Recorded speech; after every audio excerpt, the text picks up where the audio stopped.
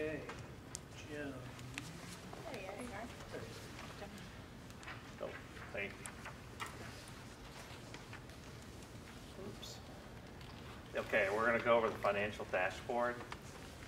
Uh, we currently have nineteen thousand five hundred and forty-eight scholars, and that includes hundred and seventy that we added after the break. It was a concerted effort to bring people into the schools off our remaining wait list.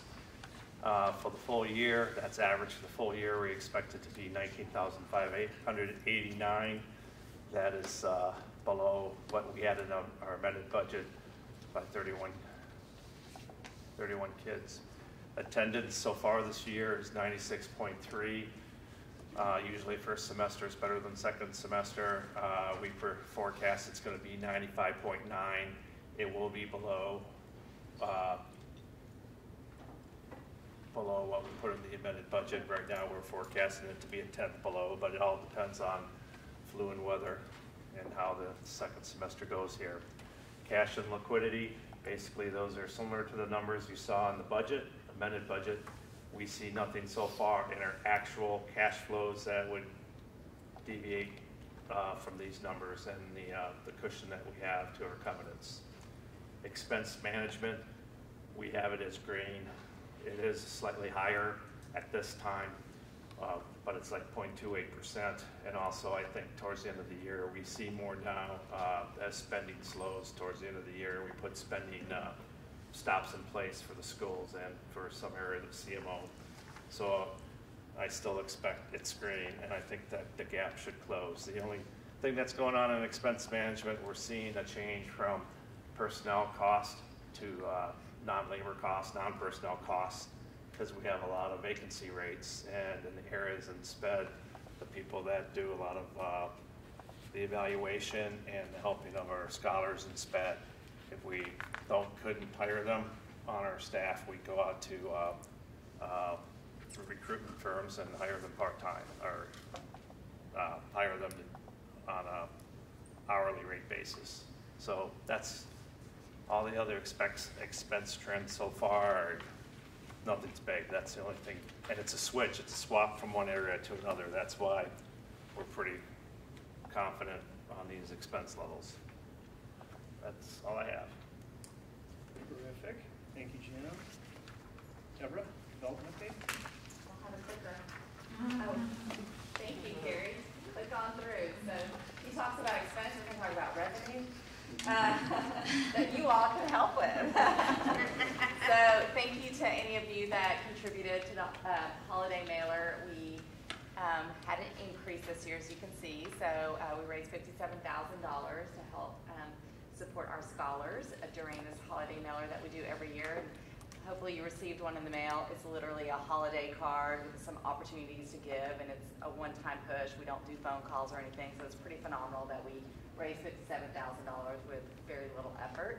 Um, our capital campaign to date, we're almost to six million dollars. Um, just a friendly reminder that we have an eight million dollar threshold uh, to meet um, with one of our Fort Worth funders in order for them to continue to be happy with us and uh, make their next installment with us. So we're actively working through grants, um, but always welcome.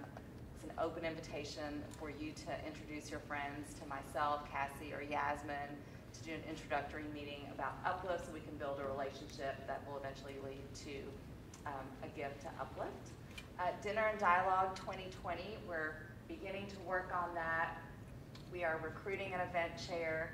Uh, We're openly recruiting for a committee. We have a committee of one so far um, that has, uh, that is excited, attended the event, and wants to participate and help develop it to the next level.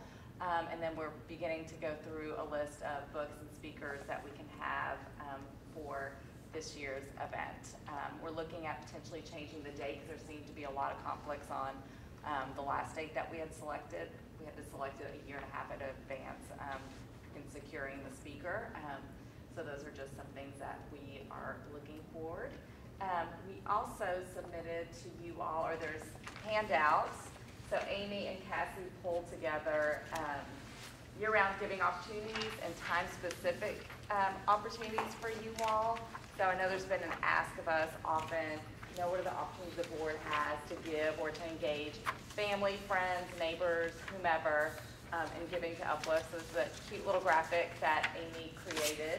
Um, also, many of you probably are aware that the happiest day of the year, College Signing Day, is coming around on April 30th at the new Texas Rangers ballpark, although I don't think it's officially a ballpark. I think it's an entertainment venue or something that they have to play baseball at. Um, we would love for you to join us. We're working through potentially having um, a shuttle bus from Dallas to the venue for board members to jump on with their guests if they want to bring people. We're working through details on that.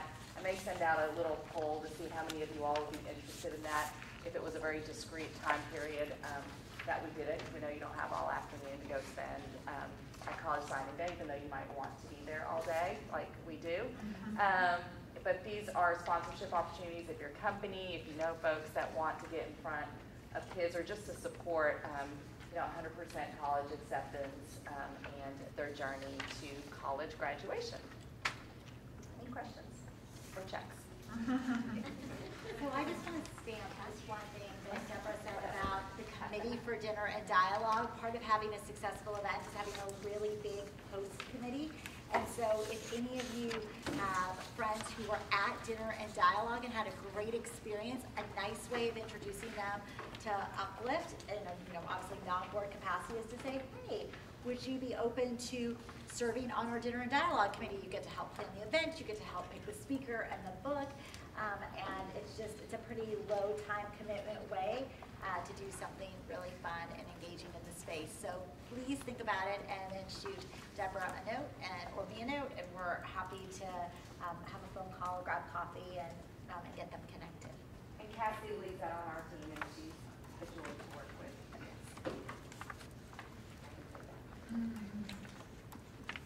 Other questions for Deborah? Okay, I said Susan Ness was going to be joining us, that was wrong. Um, Angela Tristan, who's our Senior Director of Campus Support, uh, is here to um, walk us through a discussion on the geographic preference for Summit. Yes. Well, good afternoon. Um, so I'm here looking for support for us to make an update to, remove the zip code preference for Summit.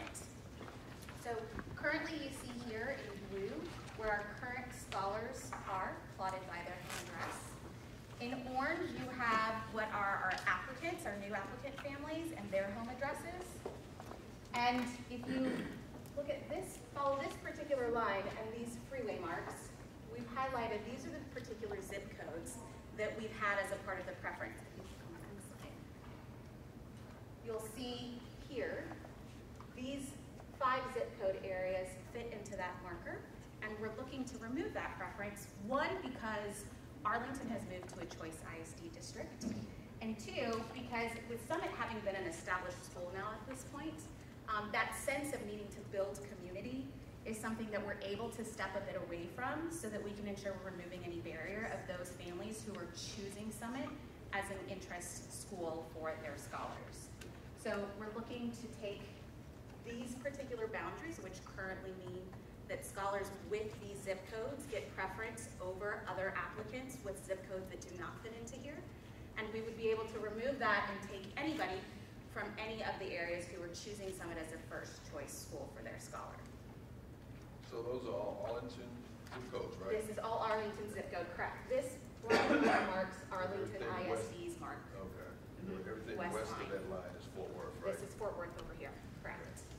It's also the first time this year that Summit Middle School and High School were under enrolled versus their budget. It's one of the highest performing secondaries in our network, so it's not a performance issue. We are literally seeing what happened when our traditional ISD peer went open enrollment. And that's why, again, to just um, reinforce uh, Angela's point, we are trying to remove any barriers um, and be as inclusive as possible in welcoming families to Uplift Summit, which is such an awesome campus in our network. And it's the, the start of a zip code just assessment that we're wanting to do across the network. Summit specifically is what we're asking for your support of today. Um, broader question, the various zip code preference changes we've done over the years, have we ever noticed any unintended consequences of any of those? Um, no, it, it really is to the point of saying that we've removed the, the barrier of entry for folks. It's allowed for us to go deeper into our lists and pull folks who are confidently choosing to come, and it actually provides a more confident number of person who's going to show up on that first day of school, more confidence in them showing up. Laura? Did you have a question? Well, it was similar, what, what are the negative effects of that? So, Yeah, I, I think the negative effects for us really aren't anything that we've been able to pinpoint, mostly because this is following what's happening in the district itself. So as the district has changed, and we're seeing families now having the opportunity to move and not have the limitations of going to schools in specific neighborhoods that serve them, um, we haven't seen that there's a negative to doing this. We're just kind of mirroring what other, what our neighbor districts are offering to families, and so we're seeing it as a positive option for families. so why not do this for all schools? Very much welcome that question, because that is something that we are interested in doing. Specifically for this meeting, we had opted to look at, at Summit, and I'll let Alex kind of finish. Yeah, I mean, I think, I think historically, um, when we have opened schools, we have wanted to really target like the local community uh, within sort of our larger geographic boundary and provide that opportunity to those families who live in the zip codes or if we did it by geographic boundaries, by geographic boundaries, to ensure that they would have a preference in the enrollment process outside maybe the larger geographic boundary. Um, But to Angela's point, as we grow and become established campuses and the local ISD maybe changes their practices, then the rationale for having that preference we have in place becomes sort of null and void. Um, So I think we will, we'll probably see, my guess is, in the coming months, years, we may start to move away from some preferences for other campuses. Um, But we still may look at having some sort of preference for new campuses just to ensure that we are doing what we can to serve that community in and around that campus. And is that fully Uplift's choice? That's really our choice, right? So the way the process works is that's built into our charter. So anytime we do a preference, we have to do a resolution, get all the voting members uh, to sign who um, um, voted for it. And we send it to TEA for an amendment to the charter. And then they review it and then they send us back uh, a determination. So I think we're gonna end up looking at it on a case-by-case basis. So for example, at Uplift Heights in West Dallas, the Dallas Housing Authority gave us a very generous lease on the land that the campus is built on, specifically to serve the families in West Dallas. And I don't think we'd move away from that. Um, but in this instance, and I can think of some other instances, I think it would be a prudent thing to do. So I, I just, I don't think it's gonna be a sweeping network-wide decision, but a campus-by-campus decision. This might not be specific uh, to Summit, but have we seen with the urban redevelopment, have we seen a visible impact on the number of families for us to draw from you know, because of redevelopment and, you know, particularly I'm thinking about Peak a little bit, uh, So Heights. At at peak, we are not seeing a decrease in demand, but we are seeing our free and reduced lunch percentage drop. Um, uh, So it's high eighties, where when I started at Uplift, it was literally high nineties. Right. So it's, um, it's still relatively high, but we are definitely, that's the impact that we're seeing in the mix. Well, it it, um, impacts our revenues as well, because free and reduced lunch get more from the state than, than not. And so I think we need to really watch what's happening financially.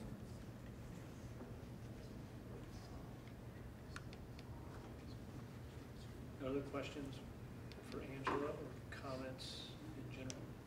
Do we have a pretty good relationship with, um, Arlington ISD, so this is, like, this won't impact any future partnership you might want to?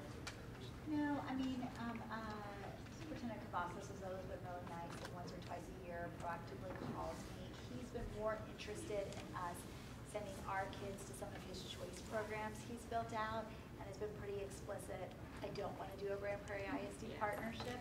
Um, uh, But I've always appreciated, like, we've had a very positive working relationship together. And I, I don't think this will be viewed negatively because honestly, we're just matching what the district is doing themselves by opening up enrollment broadly. I, I'm, I'm not anticipating that. I- I've literally had nothing but a positive relationship. Yes, do we anticipate the overflow, Lane location, and we can have preference or not?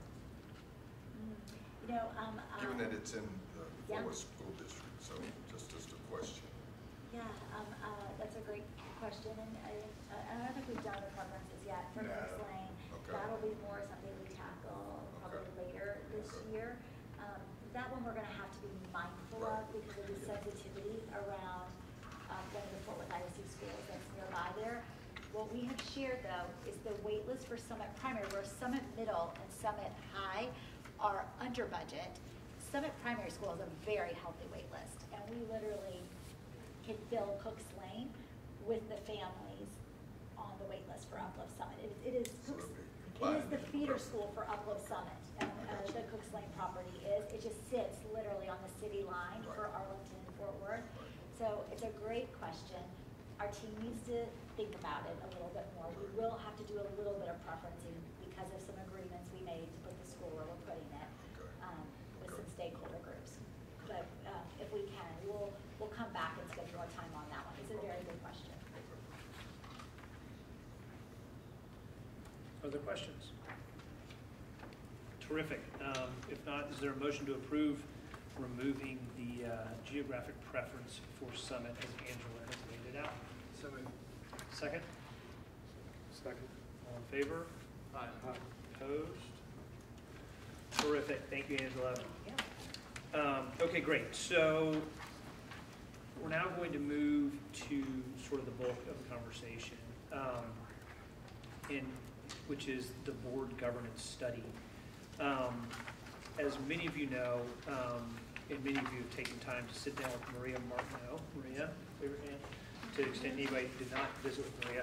Um, Maria has invested an enormous amount of time um, visiting with many of you to talk about our board construct. And um, we've been talking about this, I feel like, for a very long time. Um, and some of the ways that we have ended up where we are with the CAC serving a certain purpose and then sort of the voting board and the, and, and the broader board.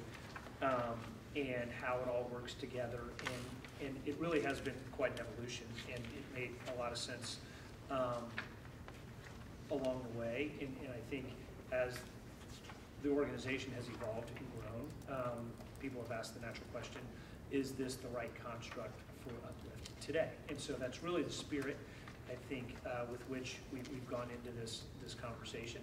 Um, and also, uh, there are a lot of important perspectives that different members of the board bring. And so I think as we, we're trying to figure out how the board can be most effective um, serving Uplift in the current construct, is that the right construct? Um, And Maria has asked that question of many of you and, and gotten a lot of different perspectives, which has been super helpful. So that is sort of the construct. Maria, thank you again for all of the effort and time that you put against this, and for all of you that took time uh, to visit with Maria and provide your feedback. It's been super helpful.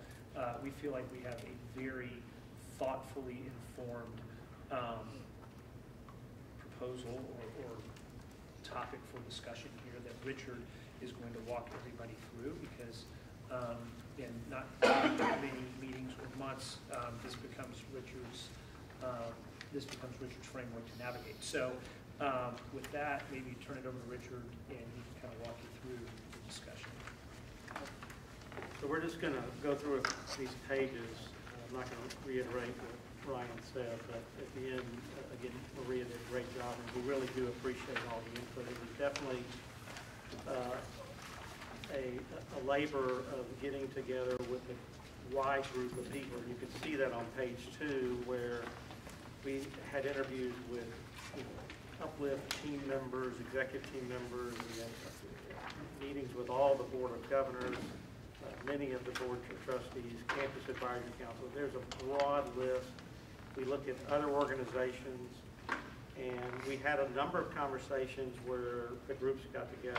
The- The governance committee got together, Ryan, myself, and Yasmin got together, and we were able to flush through a lot of the different thoughts to come up with ultimately what we wanted to, to recommend. Um, And again, I think in the end, it was, it was a lot of feedback on a lot of different topics, and ultimately got pushed into this. So what you see on page three is the current structure, where you had both this concept of governors and trustees, uh, the concept of, you know, one group was voting and, and signing off resolutions, and another group was not sure whether they voted or not, but they were non-voting and they didn't have all the requirements. Uh, And we had a list of, of different committees, sub, you know, committees of the board where a lot of work was done, so that when we came to the meetings, of the board meeting, it already had been vetted out from the board perspective, and really at that point, it was a recommendation and a discussion and, and move forward. Um, And then, again, on page three, you know, again, we're, we're mindful of the demographics of, the- of the, the governors and the trustees, and it just kind of memorializing where we are today, and certainly we want to continue to track that and make sure we're as, as broad and diverse as we have otherwise demonstrated. Um, you know, the idea that we got, and again, this was all from recommendation that came from the various discussions, was it's really to move to a single board structure. I think people appreciated the idea that they were all members of the board, and then ultimately created a separate executive committee that is, needs to meet separately to just deal with the requirements of the TEA, whether it's the training requirements or whether it's just the voting requirements and, and some of the administrative side. But ultimately, it's been a joint decision of the board in terms of how we otherwise, you know, saw things and discussed things and got input from all the board, and then the committee was going to be administratively uh, reporting, I guess, to the TEA. So, um, again, it separates the idea that there's governors and trustees, and it goes with everybody who's now a member of the board, but the executive committee will do more of the administrative functions that needed. And in some cases, those will be done uh, after the board meetings where we've already made all the discussions and we just separately meet and, and, and pass through all the resolutions that need to be approved. In other cases, we may have additional meetings where we may need to meet on real estate or some other matter uh, as we have in the past. Um, we're going to transition the Campus Advisory Council structure into two school engagement board committees. And again, at one point, we thought about doing this as a single structure, but realizing kind of the, the locations of the two geographics, it just made sense to have one being Fort Worth based and the other one being uh, Dallas based. And that way, you know, a- uh, as meetings occur, the people aren't having to travel across the, the, the, the, city, or the Twin Cities, so to speak. Um, And then we were going to create a couple other new standing committees. Uh, One, we just talked about the school engagement, uh, which is going to be both, again, for Tarrant County and Dallas County, and then a strategic planning committee. Uh, In the past, we've had uh, ad hoc strategic, strategic planning. It's a, it's a process we go through every five years. Uh, In preparation for that, we establish the committee, we go through it. Well, now it'll have a, a standing uh, part of the board, and in some cases, it may meet, you know, more regularly in setting up the new uh, uh, strategic plan for the next five years, but then maybe, you know, maybe after it's been adopted, it, it reports on it periodically, you know, once a year, is how, how we're doing toward that plan or any amendments to the plan. Um, the- One way we were thinking about re-engaging uh, as the board comes together under this one umbrella is that we're really highly encouraging that all board members will sit on one committee. Uh, You can sit, and in- as it's today, some board members sit on more than one committee. So, but in the end, we would like it to where everybody sits on a committee. So we'll have some people that uh, will uh, naturally look to the school engagement. That's kind of where they've been involved. We'll have others that have, you know, may want to participate in the finance or the audit or uh, some other committee. Uh, But what we would like to do is encourage everybody to participate on a committee level so that it keeps you engaged in the process in addition to what else you might do for Uplift. And then we're, we're creating a Road to College and Career Corporate Council. And that council is really to recognize all of our partners, all the partner corporations that are helping us to, uh, you know, and it's, it's really going to have a function where, uh, again, through the board, it just kind of sits on the side and gives some recognition for uh, a council of corporations who may not have the need or necessity to operate on the board, but be recognized for their participation and maybe even ultimately encourage involvement at the board level if they so choose. Um, So that's really the high-level recommendation. It, it, it sounds like a lot of changes, and it is. And uh, again, all those were based on the feedback that we received from from you. Um, The, the next page, page five, really talks about a more detailed recommendations, uh, you know, defining some of the other nuances of it, one of which is we're expanding our board of governors from nine to 13 voting members.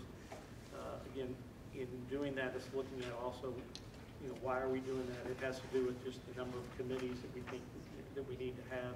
It also just has to do with how we think we're going to be most successful getting quorums for the meetings where we need to have quorums uh, to act on. Um, You know, we'd like to define that each board member, uh, you know, we'd like them to attend at least two meetings a year. For some, many of y'all here, it's not a problem because you attend uh, most, if not all, the meetings. Uh, And then we're going to want to be, continue to be mindful of keeping our board uh, diverse in its, its makeup. Um,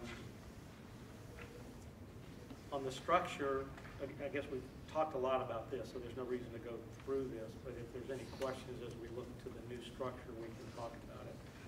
Um, Again, we're anticipating that the board will meet four times a year, and then the, the, this executive group will probably meet additional times as needed where they need to take votes like, you know, voting on the structure of uh, the school boundaries or voting on a, a real estate transaction.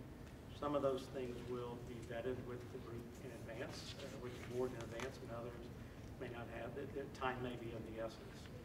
Uh, So we will, you know, preset the meeting dates and have it known to you. We're hoping to also preset the meeting dates of some of the committees. Some of them will be uh, easy to set on either monthly basis or quarterly basis, or, uh, you know, when, when, you know, when the need is more necessary, like on a strategic committee or something like that. Again, if you look on now page six, uh, this is what the new structure would look at. And again, everybody would sit under the, under the, under the umbrella of being on the uplift board. All the board members will sit on uplift committees, but then the committee chairs will make up this, including some at-large committee members, will make up the executive committee. And that's kind of, kind of how we've done it in the past. So if you, if you chair a committee, in essence have been delegated to the exec, to what now was the governors. Uh, And now, again, everybody will be on the board, and then ultimately will move over to uh, serve on committees, and then the chairs of those committees will sit on the executive committee. Can I ask a quick question on that? Yep. If you're, my understanding is we'll, we'll have more people on committees than our board members. Will the committees elect who will serve on the board and represent the board members, or will the board members be selected by a governing body and then be, like, what's the time, then serve on a committee? Does that make sense? So like, if your, if your campus excellence committee has twenty people, obviously not all of those are gonna be board members. There might be just some volunteers in the neighborhood, or, you know, at Peak, we have two people that are interested in just helping the school, so they come to my campus advisory committee meeting with me. They don't serve on the board. How do we, how does that, without a campus advisory chair, then become a board member? Or, I guess, like, what's the process or the order of how that would happen? Sure. So the um, chairs of each of these committees the executive committee would be um, uh, recommended by the governance committee in partnership with the chair and vice chair. And then if we take, um, just in general, a new board member truly sitting on the board, they would go through the governance committee like they always have, and they would be put up for this full board to approve. And then with respect to non-board members sitting on committees, um, that would be at the discretion of the committee chair. Um, So similar to how the CAC chair welcomed non-board members, the committee chair could welcome non-board members, and we would expect that to be the case, especially on the school engagement committees. And and to some degree, I would say we would hope or encourage that to happen. So it may be a way to get introduced to Uplift by joining a committee without starting at the board level to get to the committee. So the idea is that you might have one or more members on your committee who are just showing interest in the organization, and this would be a good way to get them started. It's just like it works today. Just swap CAC for committee chair, and it's, it's You'd be no different. approved by the board before you really have a committee assignment. I mean, It might happen simultaneously, but I couldn't be, one time a board member, I didn't need to serve on a committee. Yes, once you're a board member, you need to sit on a committee, and the governance um, uh, committee was planning on, um, you know, depending on if the board moves forward with this process, reaching out to each individual board member who sits on the board today to um, confirm commitment to staying on the board, and then um, discussing a committee assignment. And making sure there's balance across all of the committees. To that point, though, what I hear you also saying, that you have involved in your CAC that wouldn't necessarily be approved by this committee chair, who are very actively engaged, who want to be engaged. But I would assume that I go to, let's assume that I'm on the school excellence committee. I would probably go to the chair of that committee and say, hey, I've got these two folks who have served with me at Peak. Would they, would you be willing to then allow them? And I would reach out to them simultaneously and say, hey, we're moving to this new structure. Are you interested in serving on the school excellence committee? Is that how we foresee that Yes, and? I would be, Sue, to your question, like, I would be shocked if um, uh, the school engagement chair said, oh, there are people who've been supporting our campuses, no, there's not a spot for them on this committee. We've actually said the school engagement committees can be huge, like, you could have 25, 30 people on them, like, the more the merrier to be supporting our campuses um, at this detailed level. So um, we intentionally want anyone who's been involved in a CAC, um, both of you have non-board members who are on it, to be a part of the committee. They are welcome to be on it. And one nuance that I think hopefully would be an improvement would be some of those folks would, there would be more cross-pollination, right? In, in some cases, we've got CACs who do certain things really, really well, and others that do other things really, really well. And being able to interact more um, with those groups uh, in a perfect world would um, sort of help, help all of the engagement get better. And they might roll onto the board at some point too. Like it's a great opportunity to get them to feel more formally connected as well at the uplift-wide level. So what is the vision for, and so there are very different, you know, culture and family feel between people, for Williamson, for example, which you and I are both very, very well aware of. Um, So those individual campus things, I think in a huge committee get really diluted. So what mechanism then do you have for trying to keep that kind of culture piece alive, which now the CACs do? Well, I, I, I would personally say, and Maria can chime in on interviews that she heard too, um, I actually wouldn't say that I think a lot of CACs are involved in the culture of their campuses. I think there are a few who do that really well, but I would say it's more the exception than the rule. And um, there is still an opportunity for campuses, and we welcome it, to have community volunteers who specifically want to volunteer on that campus. Uh, and we have ways to engage those individuals. So for those campuses where that's a need, um, we have our director of strategic partnerships who helps make connections to community organizations, foundations that have volunteers, um, and to do that matching process. Uh, and so that is a separate function from the, the overall board structure, where those folks could plug in.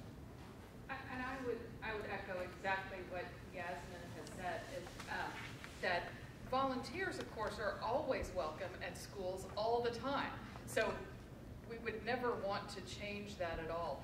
But the board engagement, this new committee would, as one of the seven now committees of the board, is really going to look at the whole network of school engagement. And so that collective brain trust um, is really going to be able to think about, are we making sure that every single school in the network is getting the love and attention that it needs, frankly? So, um, and to Yasmin's point, um, while some CACs are particularly active and have um, several committee members, um, some are not as active. And so we want to make sure that every school in the network is really getting the attention it deserves.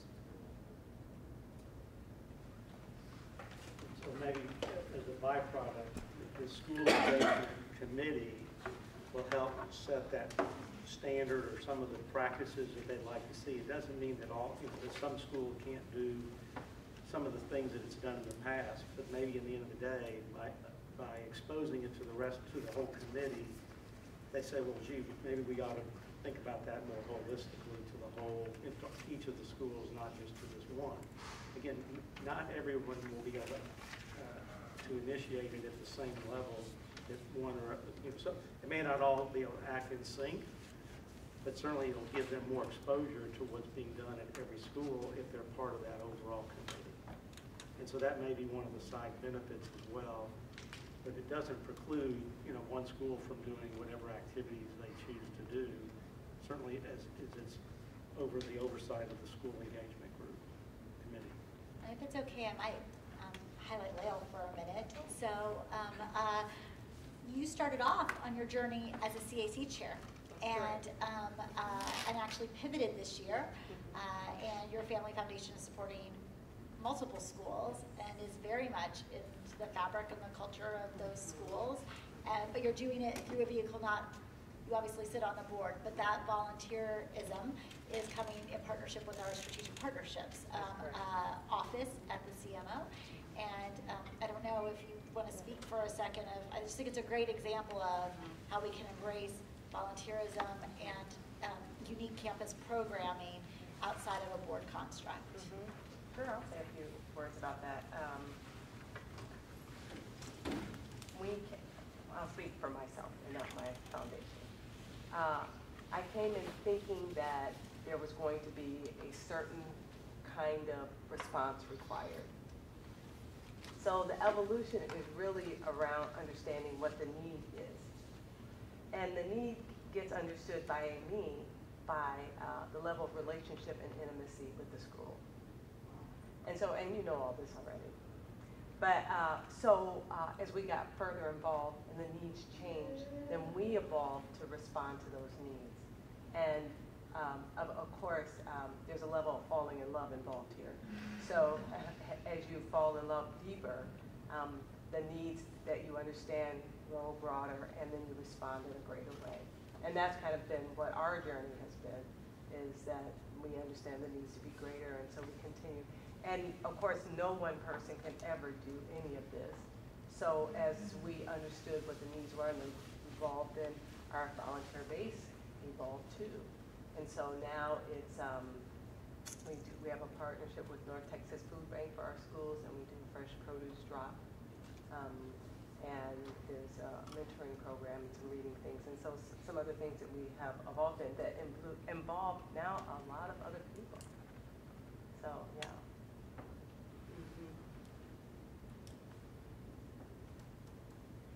Well, I just wanted to name that because I think there's a vehicle to transition those specific volunteering opportunities to the CMO partnerships department.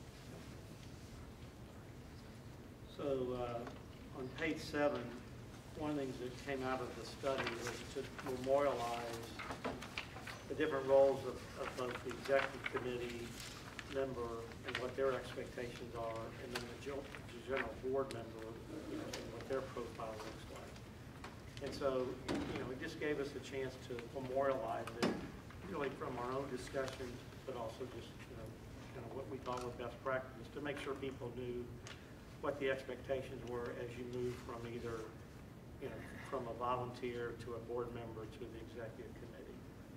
And so, you know, some of these are interchangeable because obviously being passionate about uplift and educating children is uh, across both of them. Um, I don't know if you, if you want me to read through them or just, you know, look at them, let me know if you have any questions on them, but, you know, certain, certain committees, you know, having a strong skill set is important, whether it could be the strategic uh, committee, or whether it's the finance or the audit, or whether it's the school engagement. I I mean, any one of those, you can make the argument that it needs a certain skill set, the governance as well. So, um, you know, some of those are going to be more, uh, more obvious. Um, So we just kind of put this to memorialize it, so you can think about it relative to your own commitments and your own, um, you know, understanding of how you move from one level to another level and what it might mean.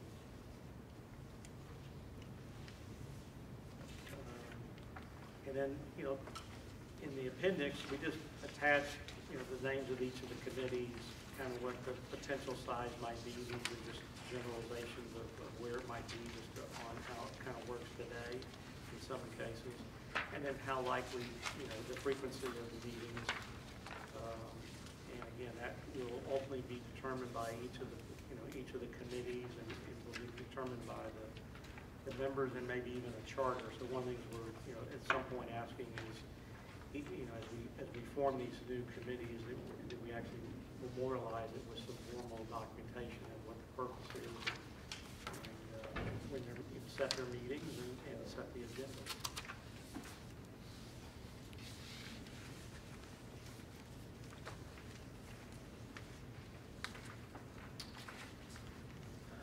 It's a question of, does anybody want to have a conversation about this, or is it as simple as making the recommendation to approve these changes?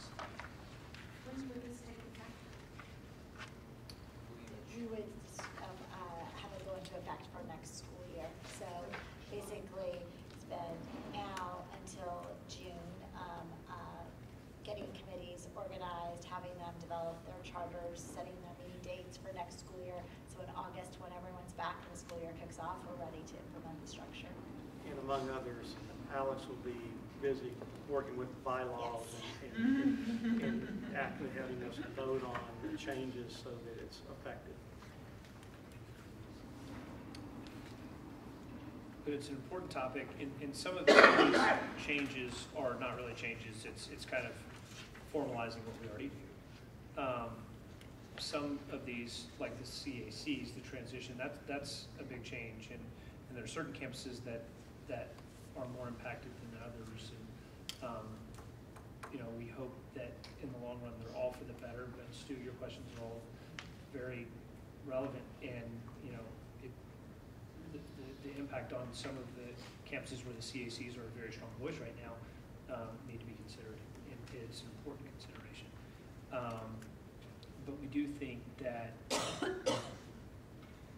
kind of where the organization is today, it's the right, it's the right direction, and it's just, this is the right setup. But it, it's an important topic that we do need to discuss, and to the extent people have questions or concerns, this is the right time to raise them, so. um,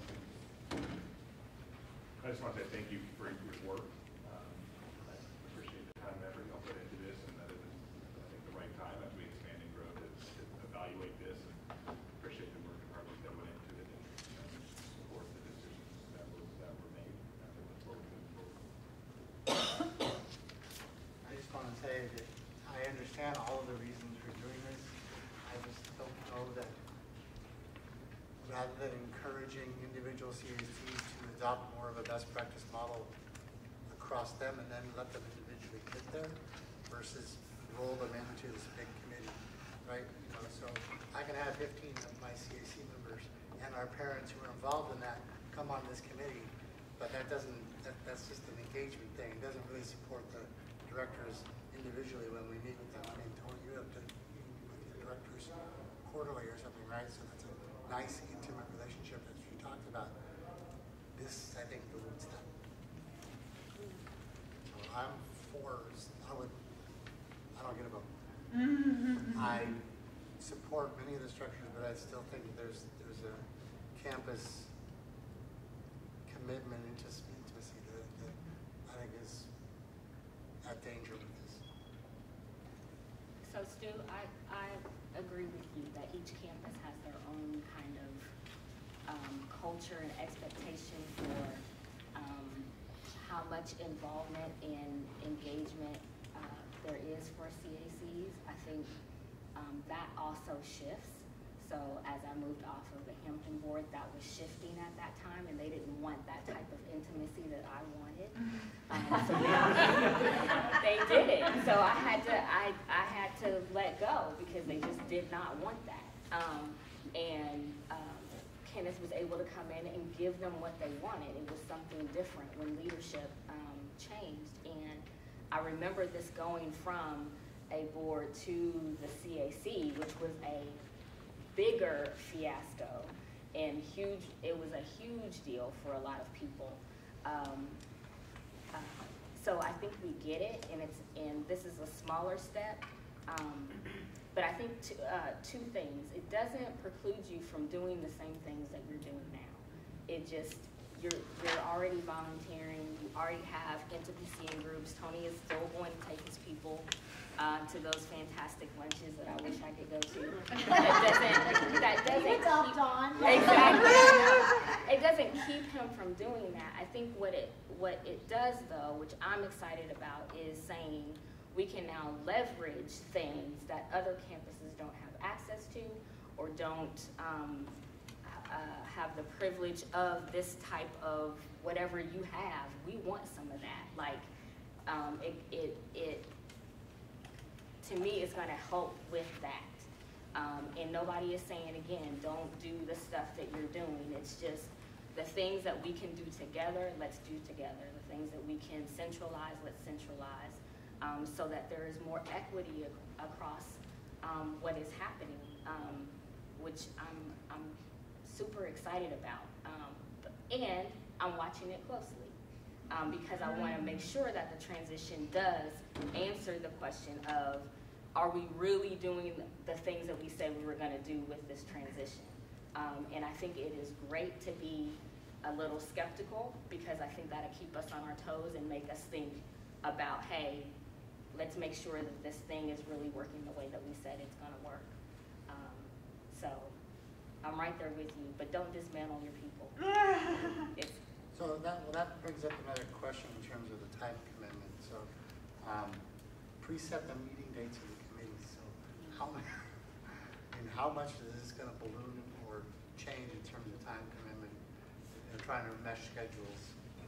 Um, so is there, a- has there been a discussion either at the board or the CMO level about, so yes, four times a meeting a year for the board, but then like the advancement, the special engagement committee meeting, what, what is that looking like? Yeah, so we just took a swag, um, on the slide that's actually up on that last column of what, um, the committee meeting cadence might be, but we really want to empower the committee to determine how frequently they think they need to meet, and, um, the committees are able to, uh, do phone calls, uh, they, they're not like these meetings where you have to be in person the for a year, so we hope that gives folks some additional flexibility by separating out Tarrant and Dallas County, but also um, minimizes any travel issues folks would have. So, you know, what we hope is that in June, we actually can use some of our board meeting time outside of budget approval, Jim, uh, to allow the committees to have some working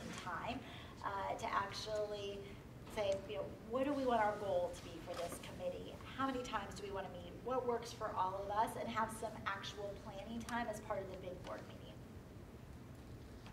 I think the other thing um, to add on the preset meeting day is um, everyone seemed to want to be able to plan their schedule a little bit. And so it was uh, really an attempt to be, an additional attempt to be able to give member, committee members um, schedule planning um, ability as they plan out their year um, to help um, make sure the engagement is good on the committees. So well, everyone will know in advance when they're going to meet.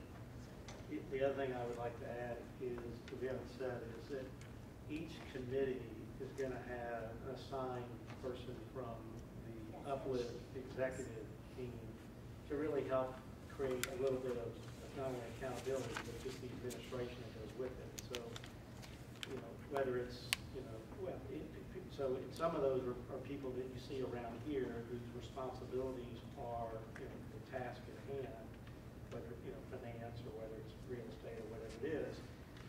So it's not, the committee chair is not gonna have to pull documents together, whatever. They're gonna work with a, an uplift, you know, executive team member to kind of create what, you know, whatever additional information they need to present to their committee. So again, when we do the audit committee, well, you know, Jim and his team are working with the board members, uh, with the audit committee members to facilitate the data that we need in order to approve the audit.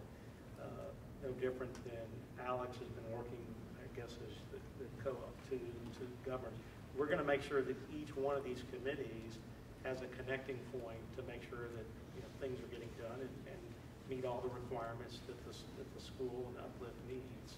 And it, I think it'll make it, you know, it has made it easier for those who served on more than one committee or just one committee to realize that there is a lot of support to the committee coming from the organization itself. And Richard, I just add, because I realize we didn't mention it in the detailed recommendations, um, we do plan on hiring a full-time staff member uh, to specifically support the two school engagement committees to again make sure that there is additional strong alignment between all of our great volunteers and board members who sit on the committee and our school leadership teams. And Aurora, as our chief of schools, will be the uh, representative from our executive team on both of those committees. Um, I did want to bring up a couple of points. I, I truly appreciate the work that's gone into this governance study and about the changes that are happening. Um, one of the things that has been a big seller in our community for Uplift is that it's a unique education, and it's special, and it's personal. And so as we get bigger, it's important that we still stay small.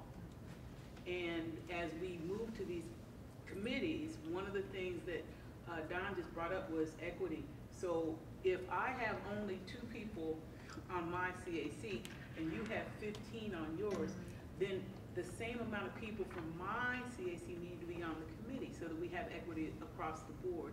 And we therefore remain small because that way every school will feel equally represented. I I would just add, and Stu, and Don, I, I told you selfishly, for eight years, I've been on the CAC for work, so I'm a little torn in terms of what, we're- where we're going, but I think there's a subcommittee to the bigger committee that we maintain, meaning that Fort Worth will still have the Send Elevate Meridian slash Mighty point person. So we still keep that, in my mind, that subcommittee as a function of the big Tarrant County engagement committee. So I'm envisioning keeping the, the similar structure, but within a bigger number of people, that we still have the voice. That is not the recommendation on the Okay. table. I just want to clarify. I understand, that. Understand, I understand. So- That so- is a new recommendation so- being added, so- that is fine. I I just, understand, I just want to but clarify within the that. committee, Yeah. within the committee, I understand that. I think, but the voice of the equity in which Michelle was going, that structurally, are we limited in terms of within Tarrant County, or Dallas County for that matter, who can be on the committee? We literally can make the committee as big as we Okay. want. What I want to be mindful of, and so I think it's great for y'all to debate this, um, uh, what our school leaders felt and shared with Maria is like, they sense the difference when different CAC chairs are engaged in different ways. So if you take the committee and basically now, as you recruit members, Right. everyone has to have a school they're a buddy to. We need to be mindful is, is the way they're engaging with the schools in a similar way. Sure. Our school leaders note when it is not. And so I just, I think that's something for us to further discuss with, Right. across forty-three schools. Um, uh, are we really gonna create a buddy system of like one-to-one? Well, and, and let me just say again, for the eight years, it's the touch point opportunity, I think, where Stu's going, of the leadership, to have touch points with individuals, so they have a voice, right? Um, aside from the, the formality of what goes on in this room, right? They want to be able to voice, vent, Sure. excel, right? And so I think that opportunity within this engagement, we've got to, I just want to make sure that there are, we don't give that up, right? And, and have best practices across the Tarrant County schools. That that's the other piece that we can learn from each other as we engage, both the community internally and externally. So I mean, that's, that's the piece I don't, I do not want to lose. I, I agree, I mean, I think everyone has super valid points on this topic. I sort of see them in a Venn diagram as two different things with an overlapping middle, meaning the board, which is what we're talking about here, is about governance, right? There's uh, legal stipulations, there's TEA requirements, there's real fidelity that needs to be held at the board level, which is kind of the topic of discussion. Then there's a, a level of intimacy uh, that we all want and desire and crave uh, with our communities, broadly speaking.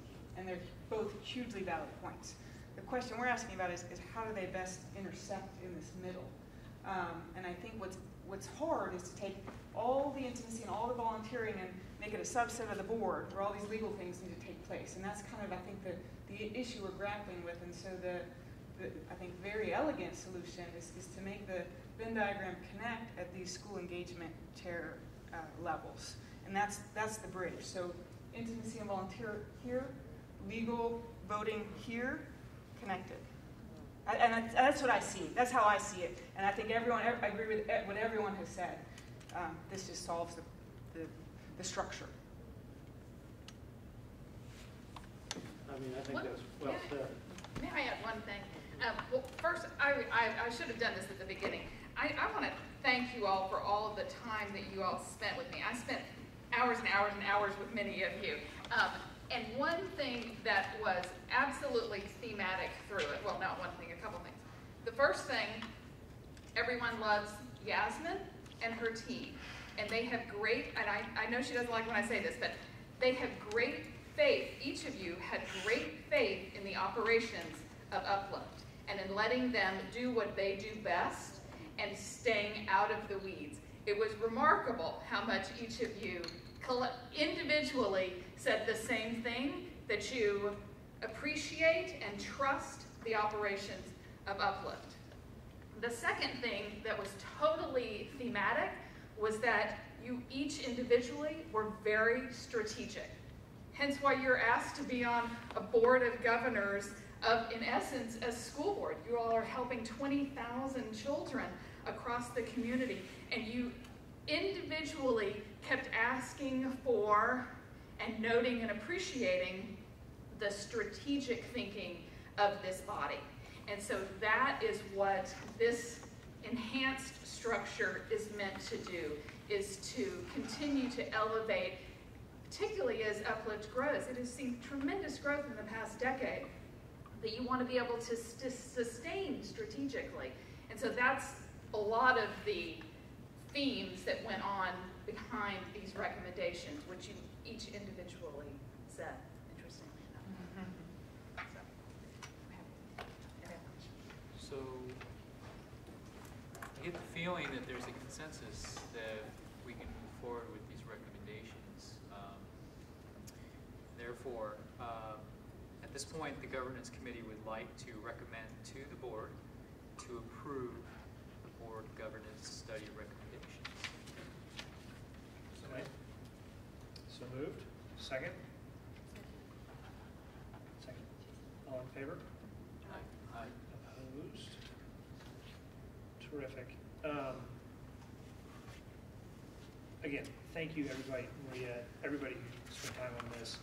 Obviously, there are a lot of questions, and, and Osa's point is exactly right. We're trying to marry two things that aren't perfectly aligned. And so it's going to take work from everybody here to, to get this right. Um, And we appreciate everybody's willingness to consider how to start, which is what we're going to do. And, and appreciate everybody's willingness to, uh, to uh, have this between a place on on those two things. So thank you very much. Um, With that, I'll turn it over to, we've got more governance, because everybody's so excited about governance. Um, So I will turn it over to Ardo for a couple more topics. Yeah, thank you. Um, There's a couple of things. We, we mentioned at the retreat that we're looking to um, pro- provide uh, more diversity uh, at the voting board level. And so um, I'd like to introduce a couple of individuals uh, in that regard. Um, Mindful that we're trying to improve, improve diversity, uh, but that said, not, um, uh, we want to also maintain the integrity and make sure that we're bringing in high caliber people uh, to be on uh, the voting board. Um, But that said, what I'd like to do is start with uh, someone who we're trying to uh, uh, nominate and recommend to the board as trustee. Uh, You have his uh, bio, his name is uh, Rick- Ricky Garcia, is how he goes by name. Ricky's right there. Hi, everybody. Um, And I, I think it may make sense at this point to, to step out because there may be some Q and A and um, I just don't want anybody to feel uncomfortable. So thank you. Um, So when we received Ricky's information, and again, we're uh, looking to recommend him to be trustee on the board, um, it seemed like a natural fit, uh, just in looking at his resume. Um, Ricky currently works at uh, Charles Schwab Foundation, and uh, if you notice, he has an extensive bio in nonprofit. Um, And then prior to Schwab, he was uh, with United Way of Metropolitan Dallas, uh, of which uh, it's my understanding Uplift has a very good relationship with. So, and I think that's where uh, Ricky first came into contact with Uplift, so he does have some uh, experience and understanding of the organization. Um, Currently, in addition, he has already been involved uh, with Uplift in the form of mentoring uh, one of the directors, Mariama Kubali, at uh, Pinnacle. And so um, I think with uh, his nonprofit experience, uh, his in- experience in having already worked with Uplift, and uh, the mentorship role he's providing at Pinnacle, and his um, current role at Schwab Foundation, it just seems like a natural fit. So um, that's one consideration uh, that I'd like to put forth as recommending to the board uh, for vote to, for him to be a a non-voting trustee. Uh, The next item on the agenda is a gentleman by the name of John McPherson. And uh, I, I think this is a great opportunity to add somebody to the strategic uh, committee. Uh, And so if you look at John's bios, and by the way, he is basically um, picking up where uh, OSA left off and the tremendous job she did. So that has to, that, that didn't go unnoticed, uh, OSA. Um, So if you look at John's bio, um, things that stand out are his consulting experience at McKinsey. Um, He was a CFO uh, at a company called Vulcan, uh, which was publicly traded. Uh, He led multiple business units, and he had investment banking experience at Goldman Sachs. Um, So, uh, most important in, in, in this view, given that this is a time commitment, and so he's expressed that he's um, sort of on a sabbatical right now after uh, taking uh, uh, Vulcan and uh, having sold that company, and so he has the time uh, to really uh, be involved in the strategy discussions. So I think the timing makes sense. His background is conducive to being in this role, and he can leverage all knowledge that OSA has from her previous experience. And Adam. And Adam. That's, that's the other thing. Thank you. Thank you for- for Don't forget about reminding- Adam. Yes, yes, yes. And that's, thank you, Yasmin, because I want to point out that um, this is going to be a collaborative effort where John will be working closely with Bain. and uh, also looking to build out his uh, strategy committee as well. So that's that. And then the final two individuals, we mentioned at the retreats that we're trying to improve upon the diversity at the voting board uh, level. And so um, we, in, in having multiple meetings with individuals who uh, expressed interest at uh, being uh, voting board members, uh, what we came away with is we think uh, two highly qualified individuals. Uh, the first being Lael Melville, who, um, as you know, she's relatively new, uh, but she's been heavily involved with Pinnacle. Uh, she is currently uh, managing her foundation, uh, and so, and I'll, I'll tie that out with uh, our next individual, Andre, who has roughly nine years, eight years of experience uh, at Uplift at multiple levels. So he brings with him a significant amount of institutional knowledge, um, and he has that Fort Worth presence, which seems to be a deficiency at this point. Um, so here we have two individuals, one uh, in Leal who brings fresh new ideas and perspectives, while the other uh, in Andre uh, maintains a historical perspective and understanding of uplift. So uh, we believe these are very strong candidates that we would like to recommend to the board as out large voting board members uh, at this stage. Uh, so uh, with that said, um, you know, that we'd like to recommend to the board uh, these individuals with Ricky being a trustee. Well, under the new language you all just voted on, all four would be board members, um, with three of them sitting on the executive committee. Correct. So, yeah, Because we there's just no approved. longer trustee Yes, yes, yes, yes. language. You're right, you're right. But I know, we had to write it both ways on the agenda because you all could have voted it down. So, yes, so I know we have to all kind of change our brains a little bit. I'm just I'm so wired the old. Yes, way. of Thank you. course, Thank you, yes. thank you, thank you, thank you. I know Uh, everyone in the room knew it. Yeah. Thank you, thank you. Uh, So yes, we'd like to uh, recommend to the board uh, for Ricky Garcia to be a board member.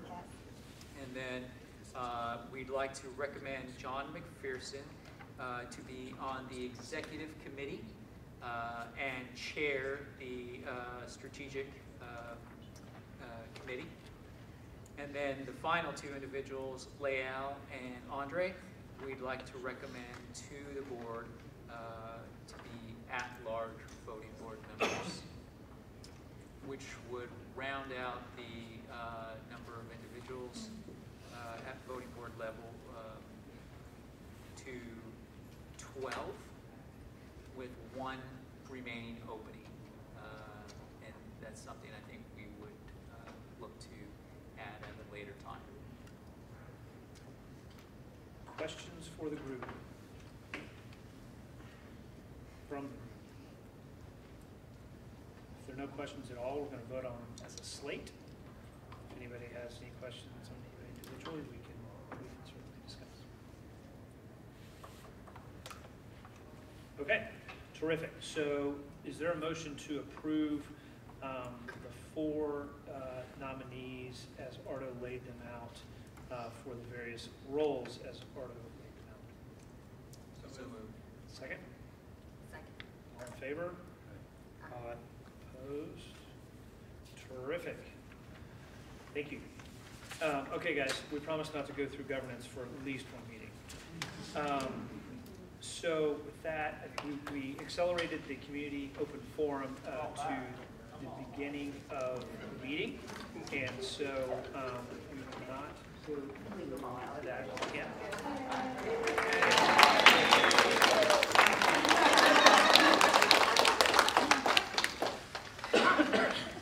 Welcome and welcome back. I will take the video. Yeah, yeah, yeah. yeah. yeah. I was like, just in yeah. case. just in case they don't go right.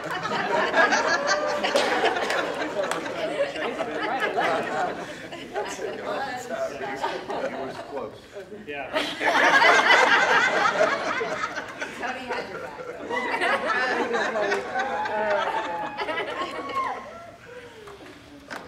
so no incremental community members are here, so with that, um, we are retiring to closed session pursuant to 551.072 and 551.071 of the Texas Government Code.